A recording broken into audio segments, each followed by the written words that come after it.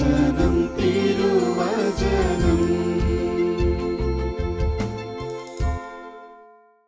ഈശോ സ്തുതിയായിരിക്കട്ടെ. പശുദ്ധ അമ്മയുടെ മാധ്യസ്ഥം നമുക്ക് ഒരുമിച്ച് പ്രാർത്ഥിക്കാം. ദൈവകൃപ നിറഞ്ഞ മറിയമേ സ്വസ്തി. കർത്താവ് അങ്ങയോട് കൂടെ സ്ത്രീകളിൽ അങ്ങ് അനുഗ്രഹിക്കപ്പെട്ടവളാകുന്നു. അങ്ങയുടെ ഉദരത്തിന്റെ ഫലമായി ഈശോ അനുഗ്രഹിക്കപ്പെട്ടവനാകുന്നു.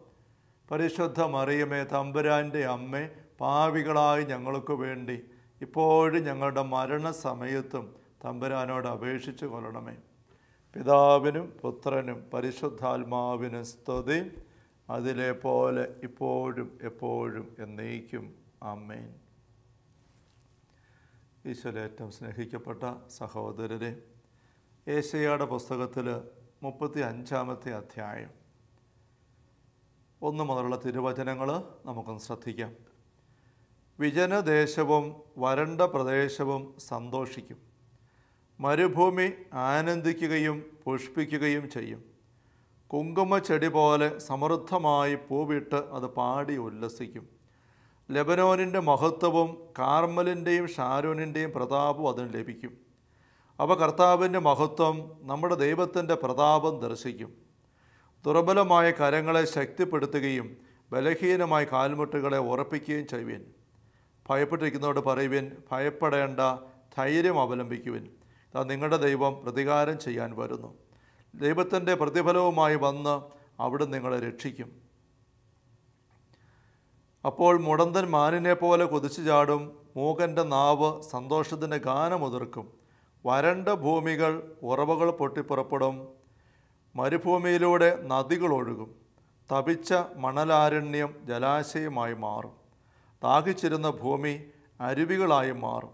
കുറുനരികളുടെ പാർപ്പിടം ചതുപ്പ് നിലമാകും. പുല്ലും ഞാങ്ങണയും കോരപ്പുല്ലും ആയി പരിണമിക്കും. യശയ പ്രവാചകൻ തന്റെ ജനത്തിന്റെ ഐശ്വര്യപൂർണമായ ഭാവിയെ ദൈവിക ദർശനത്തിൽ കണ്ട് അത് പങ്കുവെക്കാൻ ഉപയോഗിക്കുന്ന വചസ്സുകളാണിത്. ഇവിടെ രണ്ട് അവസ്ഥകൾ തന്റെ ജനത്തിന്റേത് പങ്കുവെക്കാൻ അദ്ദേഹം ഉപയോഗിക്കുന്നത്. ഒന്ന് ഞെരുക്കത്തിന്റെയും തിന്മയുടെ ബന്ധനങ്ങളുടെയും കെട്ടപ്പെട്ട അവസ്ഥ.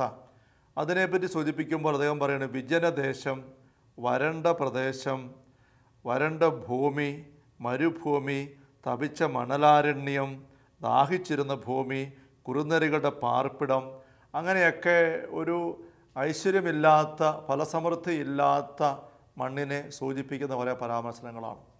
മറുവശത്ത് ആ സ്ഥലങ്ങൾ പിന്നെ എങ്ങനെയാകും എന്ന് പറയുകയാണ് മരുഭൂമി ആനന്ദിക്കുകയും പുഷ്പിക്കുകയും ചെയ്യും സമൃദ്ധമായി പൂവിട്ട് കുങ്കുമച്ചെടി പോലെ പാടി ഉല്ലസിക്കും അതിന് അരുവികൾ അവിടെ ഒഴുകും വരണ്ട ഉറവകൾ പൊട്ടി ഒഴുകും നദികൾ ഒഴുകും ജലാശയമായി മാറും ഭൂമി അരുവിയായിട്ട് മാറും അവിടെ രാജവീതി ഉണ്ടാവും പുല്ലും ഞാങ്ങണയും കോരപ്പുല്ലും എല്ലാം അവിടെ വളർന്ന് തഴച്ച് വളരും.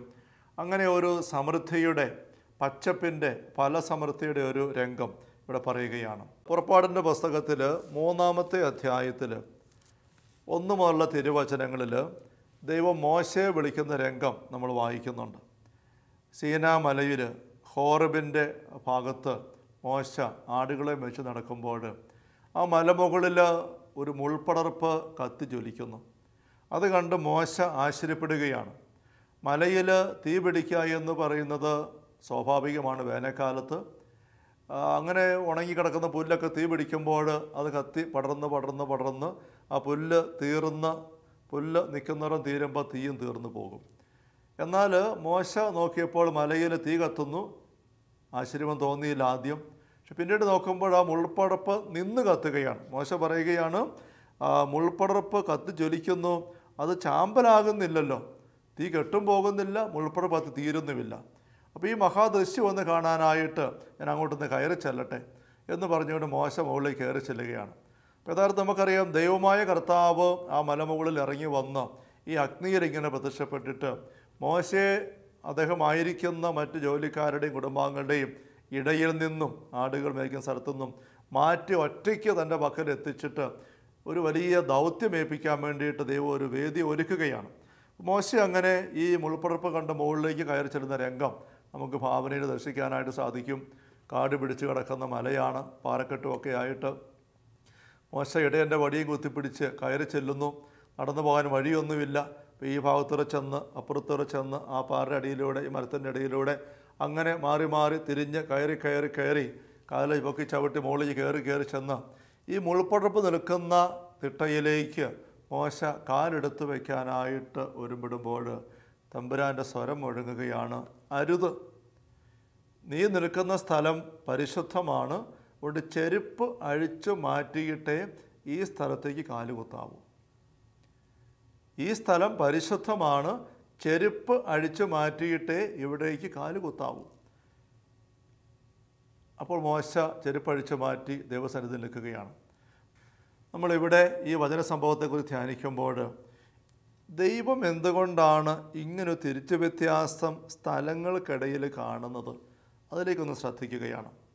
ഇതുവരെയും മോശ ചവിട്ടി കയറി വന്ന മലയുടെ ചെരുവ് ആ പാറക്കെട്ട കിടക്കുന്ന സ്ഥലം അവിടെ ചെരുപ്പിട്ട് ചവിട്ടി കയറി വരുന്നതിനകത്ത് ഒരു പോരായ്മയും തമ്പുരാൻ കണ്ടില്ല. പക്ഷെ ഇപ്പോഴാകട്ടെ മോശ ചവിട്ടാൻ പോകുന്ന സ്ഥലത്ത് തമ്പുരാൻ പറയുകയാണ് ചെരുപ്പിട്ട് ചവിട്ടരുത് പരിശുദ്ധമാണ്. അപ്പോൾ ഇതുവരെ മോശ ചവിട്ടി കയറി വന്ന സ്ഥലം ആ പരിശുദ്ധി ഉള്ളത് ആയിരുന്നില്ല എന്നാണ് അതിന് അർത്ഥം. അപ്പോൾ ഈ സ്ഥലങ്ങൾക്ക് തമ്മിൽ വ്യത്യാസം ദൈവം ഇങ്ങനെ കാണുന്നത് എന്തുകൊണ്ടാണ്? ഇവിടെ എന്താ പ്രത്യേകത? ഇവിടെ ദൈവത്തിന്റെ സാന്നിധ്യം ഇറങ്ങി വന്നു. അപ്പോൾ ആ സ്ഥലം വിശുദ്ധമായിട്ട് മാറി. അപ്പുറത്തുള്ള സ്ഥലം വിശുദ്ധമാകാൻ ദൈവസാന്നിധ്യം പ്രത്യേകമായിട്ട് വന്നില്ല. പക്ഷെ അതെങ്ങനെ അശുദ്ധമായി? അല്ലെങ്കിൽ പരിശുദ്ധമാണെന്ന് പറയാൻ പറ്റാത്ത പോലെ എങ്ങനെ വന്നു? എന്ന് നമ്മൾ ചിന്തിക്കുമ്പോൾ ഉൽപ്പത്തി പുസ്തകത്തിൽ മൂന്നാമത്തെ അധ്യായത്തിൽ ആദ്യ പാപം ഉണ്ടായി കഴിയുമ്പോൾ തമ്പുരാൻ ആദത്തോട് സംസാരിക്കുമ്പോൾ പറയുന്നല്ലോ പതിനേഴാമത്തെ തിരുവചനം. തിന്നരുതെന്ന് ഞാൻ പറഞ്ഞ പഴം സ്ത്രീയുടെ വാക്ക് കേട്ട് നീ തിന്നതുകൊണ്ട് നീ മൂലം മണ്ണ് ശപിക്കപ്പെട്ടതായിരിക്കും. അപ്പം മണ്ണിന്റെ മേലൊരു ശാപം വന്നിരിക്കുന്നു. മണ്ണിന്റെ ഒരു വിശുദ്ധിയുടെ തിളക്കം നഷ്ടപ്പെട്ടിരിക്കുന്നു എന്നർത്ഥം. നീ പാപം ചെയ്തത് കൊണ്ട് നീ മൂലം മണ്ണ് ശപിക്കപ്പെട്ടതായിട്ട് മാറിയിരിക്കുന്നു. അപ്പോൾ കാരണം കൃത്യം തമ്പുരാൻ കൃത്യമായിട്ട് പറയുന്നുണ്ട് അനുസരണക്കേട് കാണിച്ച് പാപത്തിന്റെ പ്രവൃത്തി ചെയ്തതുകൊണ്ട് നീ മൂലം. അതുവരെയും ഈ മണ്ണിനെക്കുറിച്ച് ദൈവം എന്താണ് പറഞ്ഞത്? ഒന്നാമത്തെ അധ്യായത്തിൽ സൃഷ്ടിയുടെ വിവരണം നമ്മൾ വായിച്ചു വരുമ്പോൾ നമുക്ക് കാണാം. സൃഷ്ടിയുടെ വിവരണത്തിൽ ഓരോ സൃഷ്ടിയുടെ സ്റ്റേജ് കഴിയുമ്പോഴും തമ്പുരാൻ ആവർത്തിച്ച് പറയുന്നൊരു കമന്റ് ഉണ്ട്. താൻ ചെയ്തതെല്ലാം നന്നായിരിക്കുന്നുവെന്ന് അവിടുന്ന് കണ്ടു. പത്താം വാക്യത്തിന്റെ അവസാനത്തിൽ ജലത്തിന് കടലെന്നും കരയ്ക്ക് ഭൂമിയെന്നും പേരിട്ടു. അത് നല്ലതെന്ന് അവിടുന്ന് കണ്ടു. പന്ത്രണ്ടാം വാക്യത്തിന്റെ അവസാനത്തിൽ വിത്തിലുള്ള സ്ഫലങ്ങളോട് കൂടിയ വൃക്ഷങ്ങളെയും മുളപ്പിച്ചു.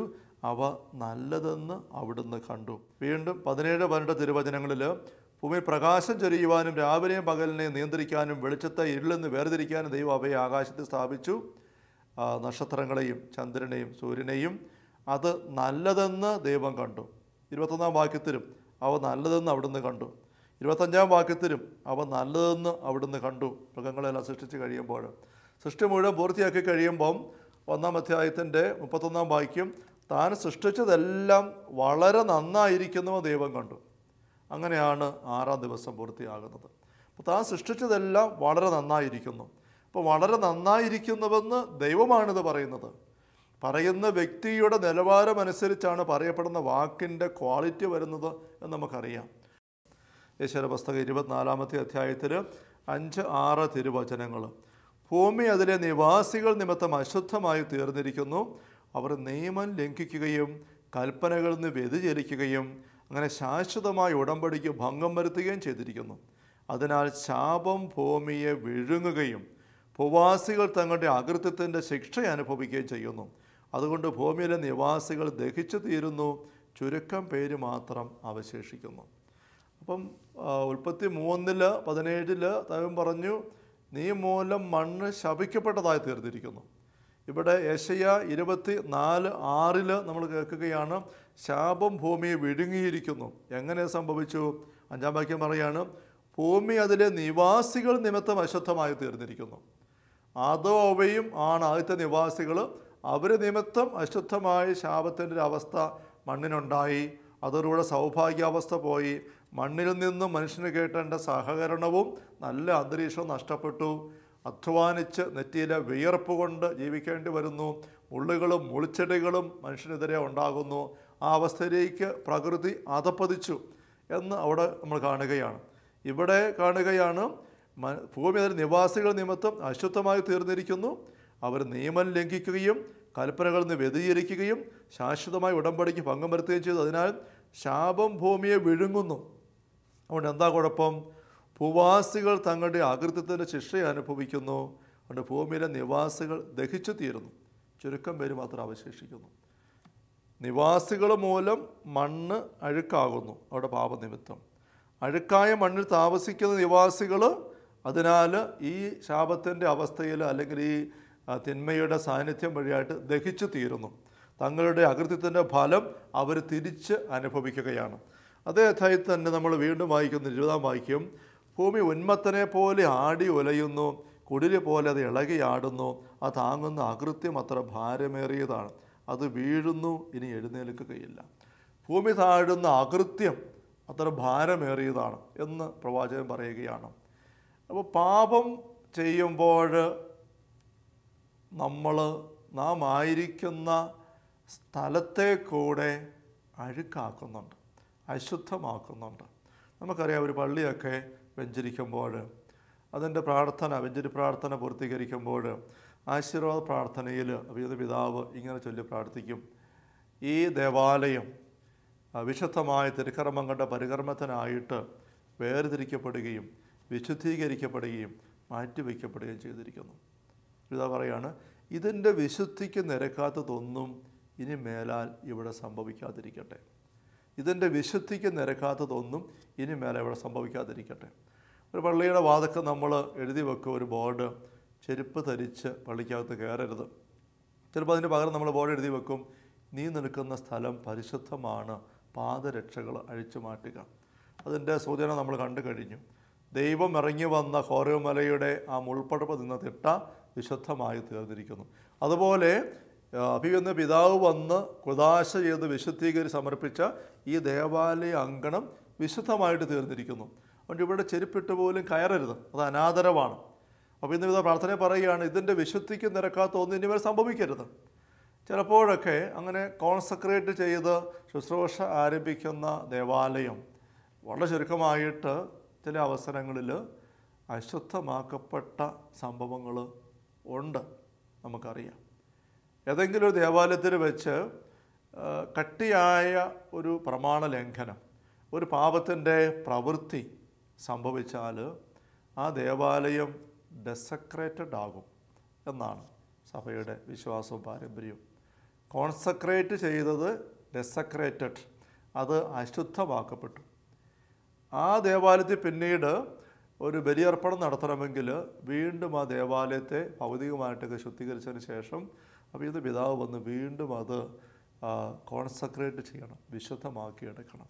അതല്ലായെങ്കിൽ ആ സ്ഥലത്ത് ഒരു ബലി അർപ്പിക്കുക ആത്മീയ കൃത്യങ്ങൾ നടത്തുക എന്നുള്ളത് ഉചിതമല്ല. അത് സഭ ചെയ്യുകയാണ് അപ്പോൾ സ്ഥലത്തിന്റെ ഇങ്ങനെയുള്ള ഒരു വിശുദ്ധിയുടെ അശുദ്ധിയുടെ സാന്നിധ്യത്തെപ്പറ്റി നമുക്കൊരു അവബോധം ആവശ്യമുണ്ട്.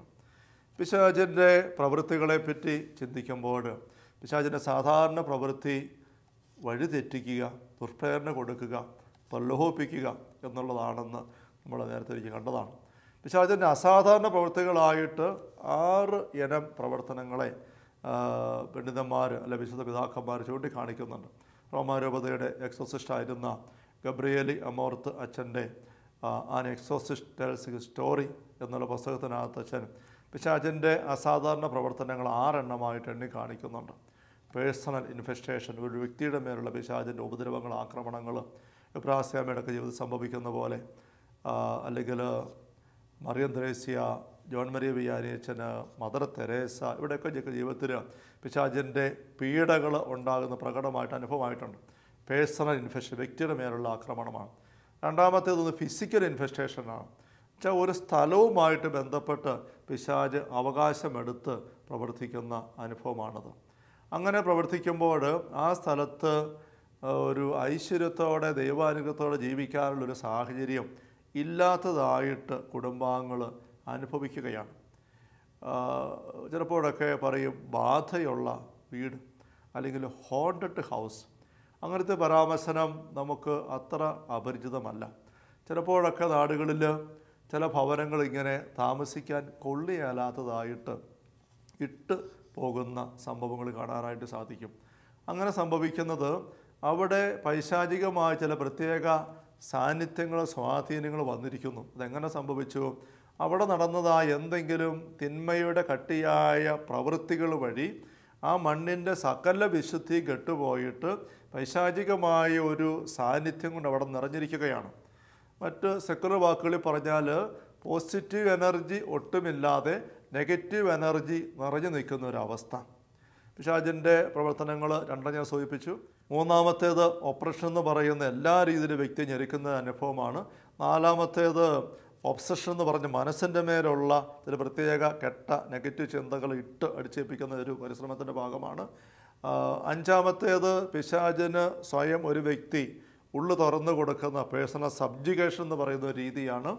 ആറാമത്തേത് പിശാജ് കൺട്രോൾ ഏറ്റെടുക്കുന്ന പൊസഷൻ എന്ന് പറയുന്നതാണ്. നമുക്കതേപ്പറ്റി പിന്നെ അവസരങ്ങളിൽ ചിന്തിക്കാം. ഇപ്പോൾ ഞാനീ പറഞ്ഞ രണ്ടാമത്തെ കാര്യം ഫിസിക്കൽ ഇൻഫെസ്റ്റേഷൻ പിശാജിന് ഒരു സ്ഥലത്ത് പ്രത്യേകമായിട്ട് അവകാശം കിട്ടിയിട്ട് അവൻ അവിടെ ചില അസ്വസ്ഥതകളുണ്ടാക്കി അവിടെ പാർക്കുന്നവർക്ക് സ്വസ്ഥമായിട്ട് ജീവിക്കാൻ മേല അല്ലെങ്കിൽ രോഗമുണ്ടാക്കുന്നു അപകടമുണ്ടാക്കുന്നു ഇങ്ങനത്തെ അവസ്ഥ വരികയാണ്. ഞാനിപ്പോൾ സൂചിപ്പിച്ചതായ ഗബ്രേലി അമോർത്തത്തിന്റെ ആൻ എക്സോസിസ്റ്റ് മോർ സ്റ്റോറീസ് ഇത് രണ്ടാമത്തെ പുസ്തകമാണ്. ഈ പുസ്തകത്തിന്റെ അവസാന ഭാഗത്ത് അദ്ദേഹത്തിന്റെ പക്കൽ ചില ആൾക്കാർ എഴുതി ചോദിക്കുന്ന ചില ചോദ്യങ്ങളും സംശയങ്ങളും അതിന് അദ്ദേഹം ഉത്തരം കൊടുക്കുന്ന എല്ലാ വിവരണ ഭാഗങ്ങളുമുണ്ട്. അതിൽ ഒരു കത്തിൽ ആൾക്കാർ ഇങ്ങനെ ചോദിക്കുകയാണ് we were very distressed by strange nightly noises we would hear in our house ഞങ്ങളുടെ വീട്ടിൽ വല്ലാത്ത അപശബ്ദങ്ങളുമൊക്കെ രാത്രിയിൽ കേൾക്കുന്നു. അതുവഴി ഞങ്ങൾ വല്ലാതെ വിഷമിക്കുകയായിരുന്നു. ഒരു പുതിയ വീട്ടിലേക്ക് അവർ താമസം മാറി വന്നൊരു കുടുംബത്തിന്റെ പശ്ചാത്തലമാണ് തോന്നുന്നത്. അല്ല വാങ്ങിച്ചെടുത്ത് പുതിയ വീട് വാങ്ങിച്ച് താമസിക്കാനായിട്ട് വന്നിരിക്കുന്നു. Later we found out the later we found out that the former tenant had committed suicide by ഹാങ്ങിങ് ഹിംസെൽഫ് ദയർ പിന്നീട് ഞങ്ങൾ അന്വേഷണത്തിൽ അറിഞ്ഞു. ഇതിനു മുമ്പ് ആ വീട് ഉപയോഗിച്ചിരുന്ന വ്യക്തി ആ വീട്ടിൽ ആത്മഹത്യ ചെയ്തതാണ്. Following the advice of a friend who belonged to renewal in the spirit we had many Gregorian masses celebrated for his soul and the noises ceased പ്രാർത്ഥനയിൽ ഒരു കൂട്ടായ്മയിലുള്ള ഒരു വ്യക്തിയോട് ഇത് സംസാരിച്ചപ്പം അവർ പറഞ്ഞ നിർദ്ദേശം അനുസരിച്ച് ഈ ആത്മഹത്യ ചെയ്ത് മരിച്ച വ്യക്തിക്ക് വേണ്ടിയിട്ട് ഗ്രിഗോരിയൻ കുർബാന ചൊല്ലിച്ചു. മുപ്പത് കുർബാന തുടർച്ചയായുള്ള ദിവസങ്ങളിൽ ചൊല്ലി ഒരു പ്രത്യേക വ്യക്തിയുടെ ആത്മശാന്തിക്ക് വേണ്ടി അല്ല വ്യക്തി വ്യക്തികൾക്ക് വേണ്ടി പ്രാർത്ഥിക്കുന്ന ഒരു രീതി പാരമ്പര്യ സഭയിലുണ്ട് നമുക്കറിയാം. അപ്പം അങ്ങനെ കുർബാന ചൊല്ലിച്ച് പ്രാർത്ഥിച്ചു. അതോടുകൂടെ ഈ അപശബ്ദങ്ങൾ നിലച്ചു. I could tell you other phenomena that can be attributed to the dead ഇങ്ങനെയുള്ള ചില ദുർമരണങ്ങളുമായി ബന്ധപ്പെട്ട് ഇതുപോലെയുള്ള സമാന സംഭവങ്ങളും അനുഭവങ്ങളും എനിക്ക് പങ്കുവെക്കാനായിട്ട് സാധിക്കും. വാ ഷുഡ് വി ബിലീവ് എന്താണ് ഇതിനകത്ത് നാം മനസ്സിലാക്കേണ്ടത് എന്നിങ്ങനെ ചോദിച്ചിരിക്കുകയാണ്. അപ്പം അതിന് അച്ഛന് ഉത്തരം കൊടുക്കുമ്പോൾ പറയുന്നത് നിങ്ങൾ ചെയ്ത കാര്യം തന്നെയാണ് ഏറ്റവും ഭംഗിയായിട്ട് ചെയ്യാനുള്ളത് എന്ന് വെച്ചാൽ ആ മരിച്ച ആളിന് വേണ്ടി പ്രാർത്ഥിക്കുക. എന്ന് വെച്ചാൽ ആ വ്യക്തിയുടെ അങ്ങനത്തെ ഒരു ആത്മഹത്യാ സംഭവത്തിന്റെ മേൽ ദൈവത്തിന്റെ കരുണ ഉണ്ടാകുവാനായിട്ട് പ്രാർത്ഥിക്കുക. അങ്ങനെ പ്രാർത്ഥിച്ചപ്പോഴാണ് ആ വീട്ടിൽ ആശ്വാസം ഉണ്ടായത്. അപ്പോൾ അതുവഴിയായിട്ട് അച്ഛനോട് സൂചിപ്പിക്കുന്നത് അങ്ങനെ ഒരു ആത്മഹത്യയുടെ സംഭവം ആ വീട്ടിൽ സംഭവിച്ചപ്പോൾ ആ വീടിന്റെ വിശുദ്ധി കെട്ടുപോയി. ഒരു പള്ളി കോൺസെൻട്രേറ്റ് ഉദാശ ചെയ്തിട്ട് ആ പള്ളിയിൽ എന്തെങ്കിലും ഒരു കട്ടിയായ പാപത്തിന്റെ സംഭവം ഉണ്ടാകാൻ നടക്കാൻ ഇട വന്നാൽ അത് ഡെസക്രേറ്റഡ് ആകും. ഇതുപോലെ തന്നെ ഒരു വീട് നമ്മൾ ജീവിക്കാൻ ആരംഭിക്കുമ്പോൾ വെഞ്ചരിച്ച് ആരംഭിക്കുകയാണ്. വെഞ്ചരിച്ച് ആരംഭിക്കുമ്പോൾ വീട്ടിൽ വിശുദ്ധിയുടെ അന്തരീക്ഷം ഉണ്ടാകുന്നുണ്ട്. വൈദികനെ നമ്മൾ വിളിച്ചു വരുത്തി പ്രാർത്ഥനാ മുറിയിൽ രൂപത്തിന്റെ മുമ്പിൽ പ്രാർത്ഥിച്ച് ആ രൂപം വെഞ്ചരിക്കുന്നു. അവിടെ പ്രാർത്ഥിച്ചിട്ട് വിശുദ്ധേരം തളിക്കുന്നു. എന്നിട്ട് ആ വീടിന്റെ എല്ലാ മുറികളും വരാന്തയും മറ്റും പരിസരവും എല്ലാം കിണറും തൊഴുത്തും എല്ലാം ഉൾപ്പെടെ പോയി ആ കുടുംബനാഥൻ അച്ഛനെ കൊണ്ട് പോയി വിശുദ്ധേലം തളിച്ച് വിശുദ്ധീകരിച്ചെടുക്കുകയാണ്. അങ്ങനെ ആ വീടും പരിസരവും എല്ലാം വിശുദ്ധീകരിക്കപ്പെട്ട് അവിടെ താമസം ആരംഭിക്കുന്ന വ്യക്തികൾ ആ വീടിന്റെ വിശുദ്ധിയുടെ അന്തരീക്ഷത്തെ തുറന്നുള്ള ജീവിതം വഴിയായിട്ട് വളർത്തിയെടുക്കണം. വിശുദ്ധിയെ കരുത്താക്കിയെടുക്കണം. അതിന് പകരം ആ വിശുദ്ധമായ വീട്ടിൽ അശുദ്ധമായ കാര്യങ്ങൾ പ്രവർത്തിക്കാനായിട്ട് ഒരുമ്പെട്ടാതെ ഇട വന്നാൽ ആ വീടിന്റെ വിശുദ്ധി കെട്ടുപോകും. പ്രതീസ ദൈവമുണ്ടാക്കിയത് വളരെ നന്നായിരിക്കുന്നു. നന്നായിരിക്കുന്നവൻ ദൈവം ആവർത്തിച്ച് പറയുകയാണ്. പക്ഷേ ഒരൊറ്റ പാവം ഉണ്ടാക്കിയപ്പോൾ തമ്പുരാൻ പറഞ്ഞു ശാപത്തിന്റെ അവസ്ഥ വന്നു. യേശയ ഇരുപത്തിനാലിൽ നമ്മൾ കാണുകയാണ് മനുഷ്യന്റെ ആവർത്തിച്ചുള്ള പാപത്തിന്റെ ഫലമായി ഈ ഭൂതലം ശാപത്താൽ വിഴുങ്ങപ്പെടുന്ന അവസ്ഥയിലേക്ക് വരികയാണ്. അങ്ങനെ പാപത്തിന്റെ അഴുക്കിൽ അകൃത്യം താങ്ങാൻ പറ്റാതെ ഭൂമി ശാപത്തിൽ മുഴുകുമ്പോൾ ആ ഭൂമിയിൽ വസിക്കുന്ന നിവാസികൾ ദഹിച്ചു തീരുന്നു. ആ മണ്ണിലുള്ള നെഗറ്റീവ് എനർജി ഞാൻ പുതിയ വാക്ക് സെക്കുലർ ടൈമിൽ പറയുകയാണ്. നെഗറ്റീവ് എനർജിയിൽ അവിടെ വസിക്കുന്ന ആൾക്കാർക്ക് ജീവിക്കാൻ മേലെന്ന് വരുന്നു. ഇതിന്റെ ഒരു അനുഭവം നമ്മുടെ ഓരോ വീടിനെക്കുറിച്ച് നമ്മൾ ചിന്തിക്കേണ്ടതായിട്ടുണ്ട്. വീട് വെഞ്ചിരിപ്പ് നമ്മുടെ സഭയുടെ വളരെ പുരാതനമായ ഒരു കാര്യമാണ് നമുക്കറിയാം. അതിന്റെ അടിസ്ഥാന ചിന്ത പാപം വഴി ഈ മണ്ണിന്റെ മേൽ മുഴുവനും ഒരു പൈശാചിക സ്വാധീനം വന്നിരിക്കും എന്നുള്ളതാണ് ശാപത്തിന്റെ അവസ്ഥ. അതുകൊണ്ട് ഈ മണ്ണിൽ നിന്നെടുത്ത തടിയും കല്ലും സിമെന്റും കമ്പിയും ഒക്കെ ഉപയോഗിച്ച് നമ്മൾ പണിതെടുക്കുന്ന ഭവനത്തെ കുരിശന്റെ അടയാളത്താൽ വിശുദ്ധീകരിക്കേണ്ട ആവശ്യമുണ്ട്.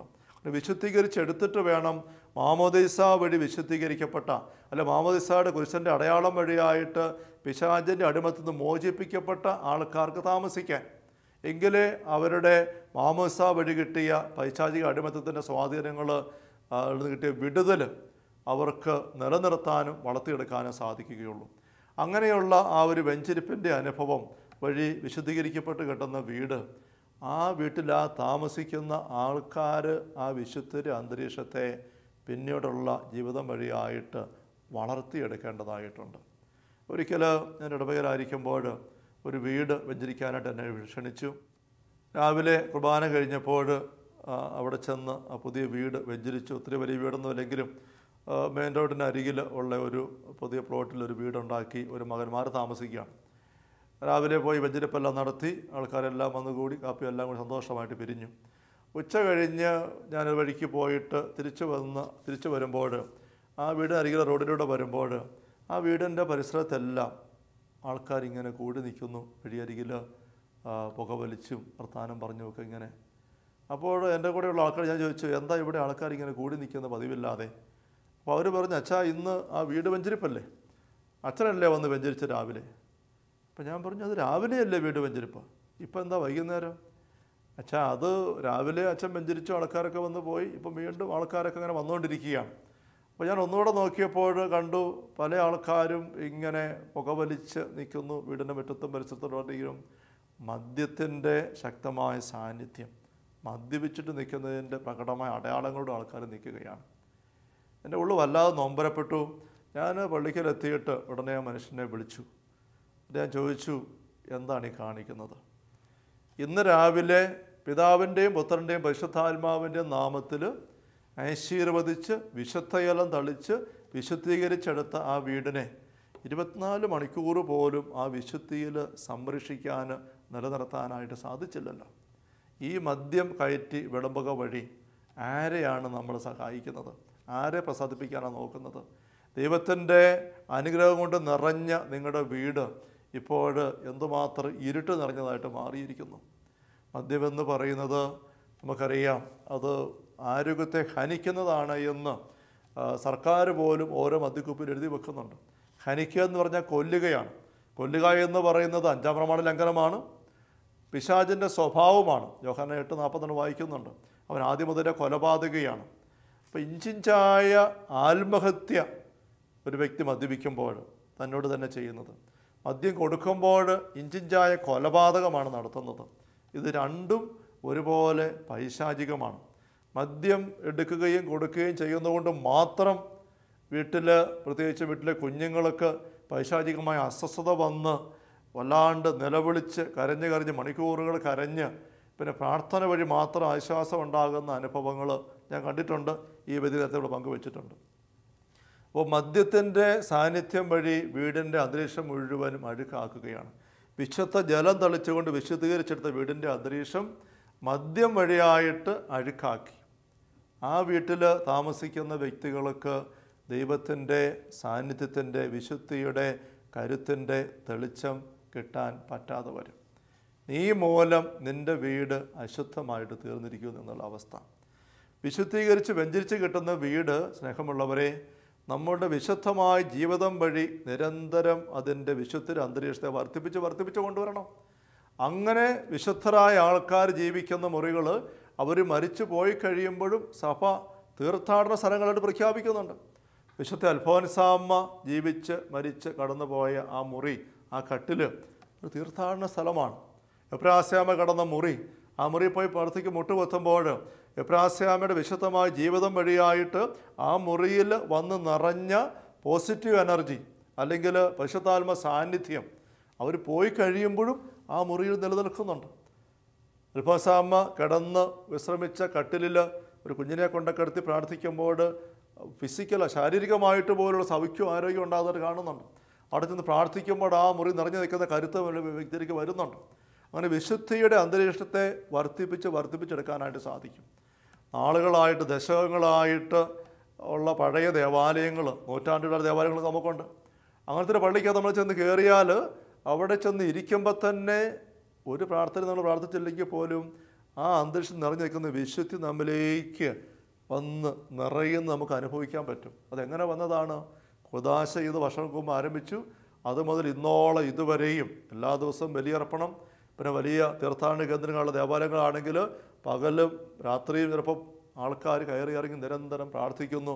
അങ്ങനെ ആ ദേവാലയത്തിന്റെ അങ്കണം മുഴുവൻ വിശുദ്ധി നിറയുകയാണ്. ആ പള്ളിയുടെ വലിപ്പമോ അതിന്റെ ക്രമീകരണങ്ങളോ അതിന്റെ എന്നതാ അലങ്കാരങ്ങളോ ഒന്നുമല്ല അതിന് അതിന് മാനദണ്ഡം. അവിടെയുള്ള വിശുദ്ധിയുടെ സാന്നിധ്യമാണ്.